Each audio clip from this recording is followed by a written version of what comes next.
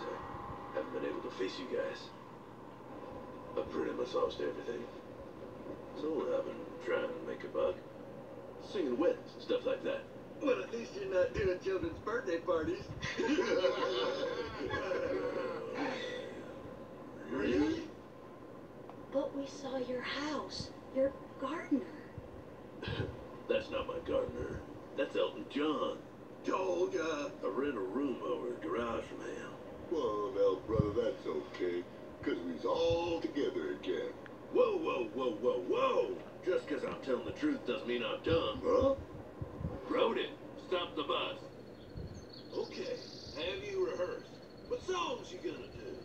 Who's doing sound? Well, we ain't exactly figured all that out yet, Ted. Same old country bears. Come on, Ted. You do kind of owe us. I mean, you were the reason we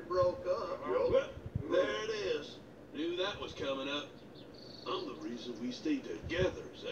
Did any of you, any of you ever thank me? We all had our jobs to do, Ted. All right. Drinking, blubbering, and staring into space. Oh, What we were was years ago. Blubbering, uh...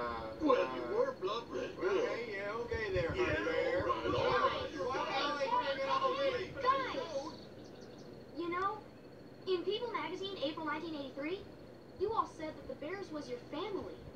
And like Kid, family, that's just would... a bunch of meaningless publicity. You don't know nothing about the real bears, understand? Nothing. We are not a family. You're right.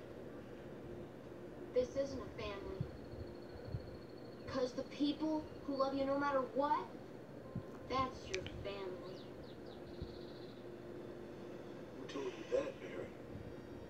My dad.